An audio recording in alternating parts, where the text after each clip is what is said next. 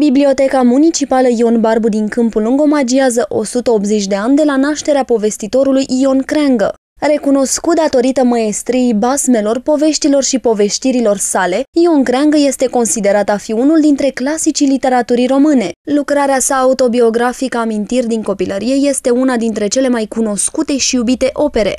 Născut la Humulești, în județul Neamț, pe 1 martie 1837, acesta, după finalizarea studiilor școlii gimnaziale în, în satul natal, a, a urmat cursuri la școala catehetică din Fălticeni, unde apare pentru prima dată cu numele de Ion Creangă, la școala domnească de la Târgu Neamț și uh, va pleca la Iași, unde va urma cursurile seminarului teologic Veniamin Costachi de la Socola.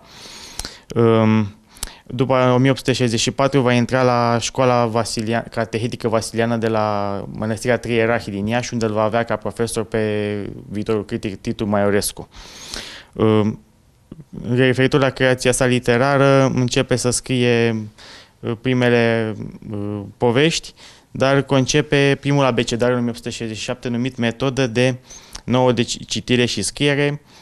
Este preot, uh, însă reușește să scrie un articol, Misiunea preotului la sate, în 1871, care atrage excluderea sa din rândul clerului preoțesc, datorită ideilor exprimate în acest articol și de asemenea datorită faptului că frecventa teatru. Cu această ocazie, iubitorii de literatură se pot informa despre viața și opera celui care a scris cele mai frumoase povești, precum Capra cu trei iezi, Danilă Prepeleac, Fata Babei și Fata Moșneagului, povestea lui Harap Alb, Moșion Roată și Unirea, Păcală sau Ursul păcălit de vulpe.